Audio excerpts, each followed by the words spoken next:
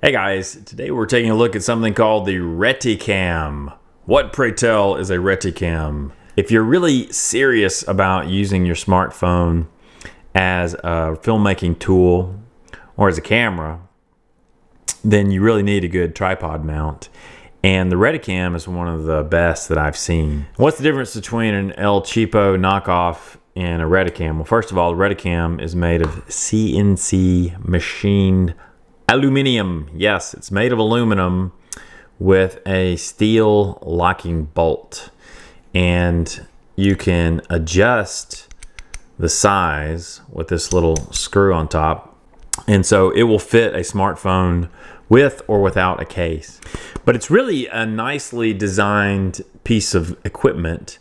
And what's most impressive about it is the build quality. It's just solid hunk of metal and you can tighten it down on your cell phone and you just know it's not coming out because like the top of the design features a unique kind of a V grip at each end and there's little rubber lining inside too so it really grips onto the phone very tightly. And then you could mount it to any number of tripods or different types of rigs that you might want to use.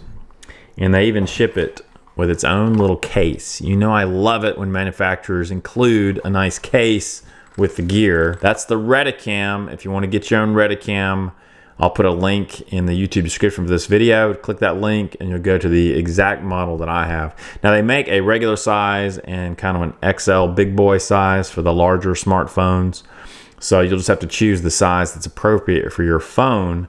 But I think due to the design uh, there's a lot of flexibility. It's going to fit just about any phone out there. As always, thanks for tuning in. Until next time, lo lo ho. If you liked the video, give it a thumbs up. If you disliked it, give it a thumbs down.